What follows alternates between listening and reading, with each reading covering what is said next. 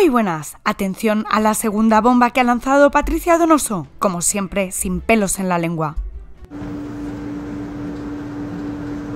Buenos días.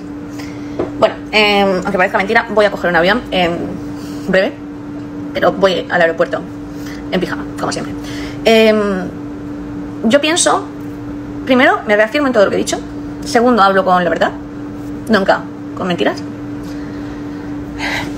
Tercero, eh, Lidia Lozano, mira que no quería seguir contigo. Te voy a decir una cosa. ¿Te retratas de lo que has dicho en el vídeo? ¿O lo cuentas? Te doy la oportunidad de que lo cuentes. Lo que tenías que contar en tres meses o en un mes o en el tiempo que ibas a tener, cuéntalo ya. Te doy esa gran oportunidad sin demandarte. Cuenta lo que quieras. Te prometo que no te demandaré. Pero me vas a decir cuál es la vida oculta mía. Me vas a decir por qué has dicho, con todo tu papo, que mi marido se llama Carlos cuando mi marido se llama Charles y tú y yo compartimos el mismo representante, puedes tener la tienes la osadía de no pedir los contratos que mi marido ha firmado porque ha cedido su imagen a Telecinco, en el que firma con su pasaporte y con su NIE americano y se llama Charles. No hay ninguna identidad falsa ni nada por el estilo. Te prometo, te lo vuelvo a decir, no te demando, pero di cuál es esa vida oculta. Mentirosilla, mentirosilla tú, que seguro mañana vas a dar una exclusiva en Sálvame de que Franco ha muerto y no te has dado cuenta que ha muerto hace 50 putos años. Seguramente.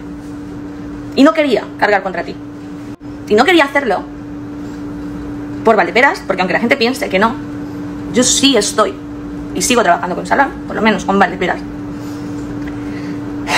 Y sí estoy, hasta ahora, invitada al final de Sálvame, si llego a España, y me lo han pedido así. Si cambian de idea, entendería a Valdeperas que se enfade o lo que él quiera. Él decide porque es el director, no decido yo. Pero tú, que no querías seguir contigo, mira, perdóname, he visto el vídeo mirando lo de Ana Rosa Quintana, he tenido que encontrarme con las bobadas que dices tú. Entonces tú vas a decir cuál es mi vida secreta, cuáles son mis mentiras, y no enseñé el piso de Miami ese día por las razones que ya, pero Nuria, tu compañera, eh, ha enseñado mi piso de Miami. Y no es pequeñito como la picha que tendrá tu marido. No. Es tan grande como las tragaderas que tienes tú para decir lo que dices sin saberlo. Adelante. ¿Cuál es la vida oculta? ¿Qué es lo que tenías que decir? Dilo. Dilo porque si no entonces te voy a decir que lo digas ante el juez. Eh, dilo.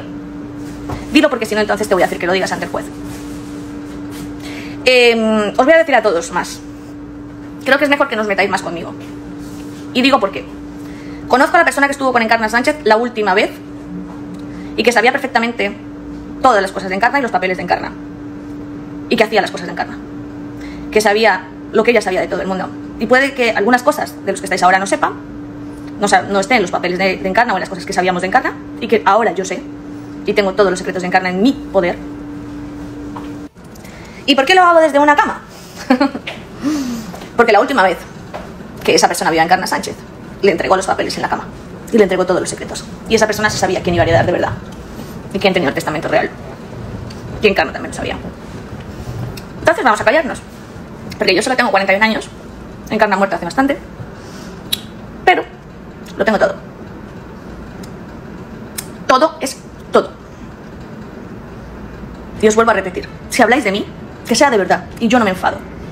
Pero ya, que sois tan valientes, decir la verdad. El que hable mal de mí, tendrá que enfrentarse a mí. Lidia Lozano, acláralo. O serás la siguiente. Bien, y yo me pregunto, ¿cómo se le ha ocurrido a Lidia Lozano insinuar nada de Patricia Donoso? ¿No se da cuenta de que tiene todas las de perder? Qué mal acostumbrada está Lidia a soltar mierda sin contrastar y que no pase nada. Lidia, hija, si tienes alguna información real, suéltalo ya. Pero jugar así, pero no, con Patri, eso no funciona.